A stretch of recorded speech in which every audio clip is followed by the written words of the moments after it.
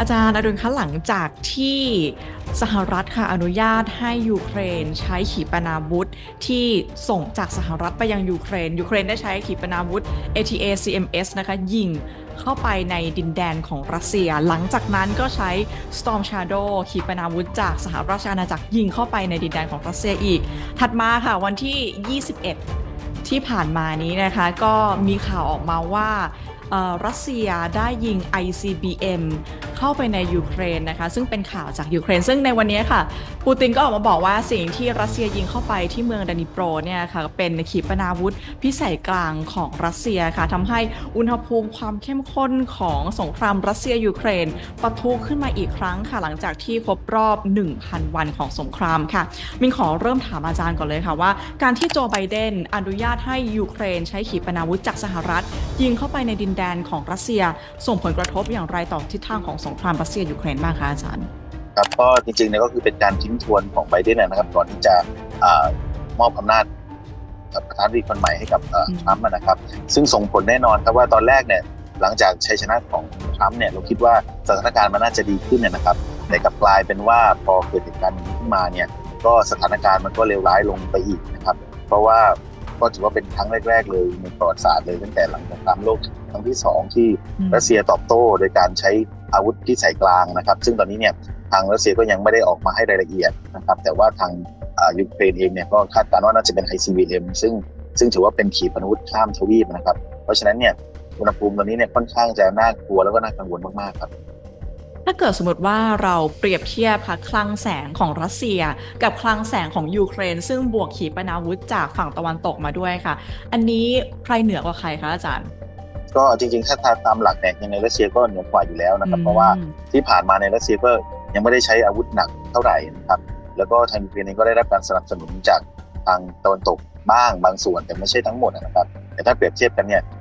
สัญญานุภาพของรัสเซียก็ยังถือว่าเหนือกว่า แล้วก็มีสื่อหลายสำนักค่ะพูดถึงว่าครั้งนี้เนี่ยอาจจะเป็นชนวนของสงครามโลกครั้งที่สองค่ะอาจารย์คิดเห็นยังไงบ้างคะก็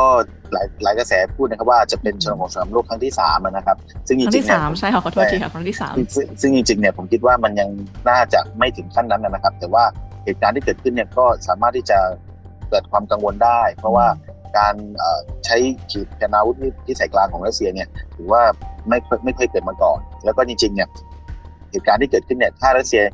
ยังไม่ได้ใส่หัวรบนิวเคลียร์เข้าไปด้วยเนี่ยก็ยังถือว่าเป็นเรื่องที่ยังไม่ไม่เป็นอันตรายมากนะครับ แต่ว่าในทางกลับกันสมมุติว่าการเมื่อวานเนี่ยโดยทางรัสเซียใส่หัวรบนิวเคลียร์เข้าไปเนี่ยก็จะเป็นอีกฉากฉากกระทัดใหม่เลย ซึ่งนั่นก็คือนำไปสู่สงครามระดับทวีปนะครับ ที่ทางนาโตแล้วก็ประเทศยุโรปทั้งหลายเนี่ยก็กังวลแล้วก็กลัวอยู่ว่าจะเกิด เพราะฉะนั้นเนี่ยตอนนี้ก็ต้องรอดูครับว่ารัสเซียจะทำอะไรต่อหลังจากนี้ไป มีความเป็นไปได้มากแค่ไหนคะที่รัสเซียจะใช้อาวุธนิวเคลียร์โจมตียูเครนนะคะอาจารย์ ผมคิดว่าตอนนี้รัสเซียคงยังไม่ใช้นิวเคลียร์นะครับ เพราะว่าถ้าใช้นิวเคลียร์เมื่อไหร่นั่นคือสงครามขยายตัวแน่นอน แล้วก็อาจจะนำไปสู่สงครามโลกครั้งที่สามเหมือนที่ที่หลายคนคาดการณ์เหตุการณ์เมื่อวานเนี่ยเป็นการส่งสัญญาณเตือนว่ารัสเซียทำได้จริงในแง่ของการใช้อาวุธที่รุนแรงแล้วก็พิสัยไกลขึ้นนะครับ แต่ว่ายังไม่ได้ใส่อาวุธนิวเคลียร์เข้าไป ซึ่งถ้าใส่เข้าไปเนี่ยผลกระทบมันก็จะทั้งยูเครนเลย แล้วก็รวมทั้งประเทศยุโรปนาโตที่ใกล้เคียงด้วยสงครามดำเนินยืดเยื้อมาจนถึง 1,000 วันที่เพิ่งครบรอบไปค่ะ เราเห็นอะไรจากสงครามครั้งนี้บ้างคะอาจารย์แล้วหลังจากนี้ทิศทางของสงครามจะยังคงยืดเยื้อต่อไป หรือว่าจะมีไม้ตายของฝั่งไหนออกมาบ้างคะอาจารย์ ผมคิดว่าที่มันยืดเยื้อมานานอย่างเงี้ยครับอย่างที่เราพูดกันมาตลอดนะครับว่าจริงๆแล้วมันเป็นสงครามของมหาอำนาจมากกว่า ระหว่างรัสเซียกับกลุ่มนาโตที่เป็นนำโดยสหรัฐนะครับ เพราะฉะนั้นเนี่ยมันเลยไม่มีข้อยุติสักทีหนึ่ง แต่ว่าเหตุการณ์ที่ผ่านมา 1,000 วันเนี่ยมันก็อยู่ในช่วงของการเมืองของฝั่งสหรัฐที่ที่ยังไม่ได้เปลี่ยนขั้วนะครับ ซึ่งตอนนี้กำลังเปลี่ยนขั้วแล้ว เพราะฉะนั้นเนี่ยก็ต้องดูดูที่นโยบายของรัฐบาลใหม่ของทรัมป์นะครับ ว่าต้องการให้สงครามนี้จบลงหรือเปล่า ถ้าทำต้องการให้สงครามนี้จบลงเนี่ยผมว่าแนวทางมันก็น่าจะดีขึ้น แต่ถ้ามันมันไม่มีความชัดเจนว่าจะแก้ปัญหายังไงเนี่ยก็จะนำไปสู่ความเลวร้ายลง ผมยังมีความคาดหวังลึกๆนะครับ เพราะว่าชัมเองก็เคยให้นโยบายไว้ว่าจะแก้ปัญหาให้เสร็จภายใน 24 ชั่วโมงหลังจากรับรับตำแหน่งประธานาธิบดีสหรัฐ เพราะฉะนั้นเดี๋ยวต้องมารอดูกันว่า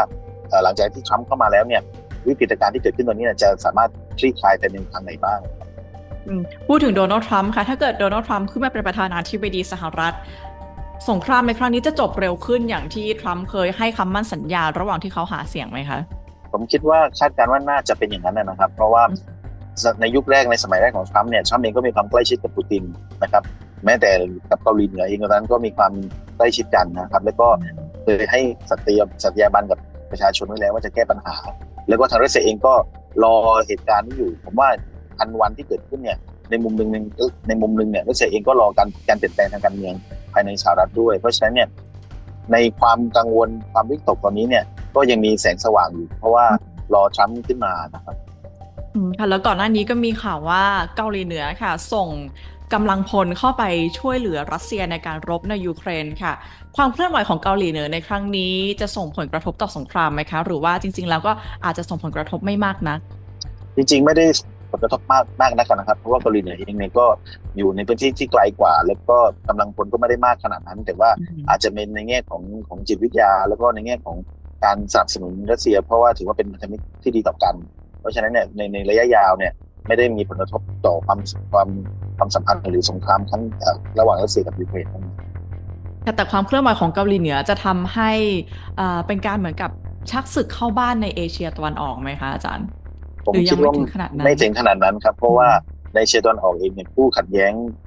ระดับใหญ่ก็ยังไม่มีเข้ามา อย่างจีนเองก็ยังวางตัวเฉยอยู่นะครับ แล้วก็ญี่ปุ่นก็ไม่ได้มีท่าทีอะไร เพราะฉะนั้นเนี่ยความขัดแย้งในเอเชียน่าจะยังไม่ขยายในวงกว้าง ตอนนี้น่าจะต้องโฟกัสที่ที่ยุโรปมากกว่า แล้วก็อาจจะมีเหี่ยวๆบ้างทางทางตอนออกกลางกรณีของอิสราเอลและพวกกลุ่มฮามาสในปาเลสไตน์ อืมค่ะเมื่อสักครู่มินถามว่าเกี่ยวกับรัสเซียแล้วก็ยูเครนเปรียบเทียบคลังแสงใช่ไหมคะ ถ้าเราเปรียบเทียบอ่ารัสเซียกับนาโตค่ะอาจารย์ เราจะเห็นว่าอ่าแต่ละฝ่ายมีอะไรที่แข็งแกร่งกว่ากันบ้างคะเอ่อถ้าเปรียบเทียบรัสเซียกับนาโตเนี่ยต้องบอกอืมเลยว่าเอ่อคลังแสงของนาโตจะมีศักยภาพเหนือกว่าและมากกว่าอืมเพราะว่านั่นหมายความว่าคือสหรัฐอเมริการวมกับประเทศในกลุ่มยุโรปนะครับค่ะเพราะฉะนั้นในระดับความรุนแรงของอาวุธนี่ก็จะมีมากกว่า แล้วก็หลากหลายกว่า แต่ถ้าเป็นเปรียบเทียบระหว่างสหรัฐกับ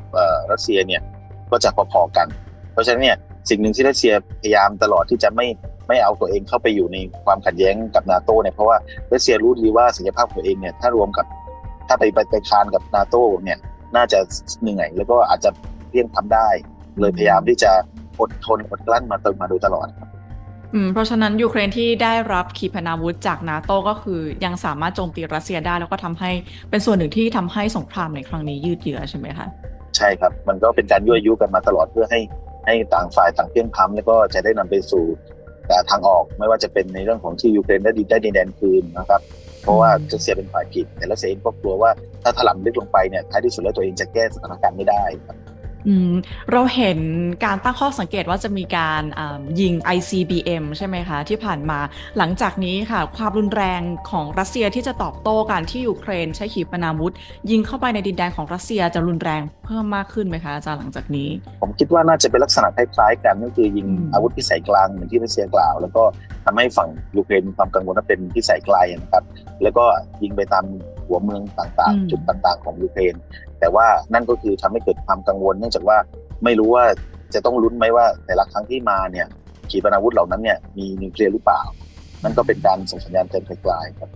อืมหลังจากนี้ค่ะสงครามรัสเซียยูเครนมีประเด็นอะไรที่เราต้องจับตามากเป็นพิเศษคะอาจารย์ ตอนนี้ที่ที่ต้องจับจับตาเป็นพิเศษก็คือเอ่อการยั่วยุที่เกิดขึ้นเนี่ย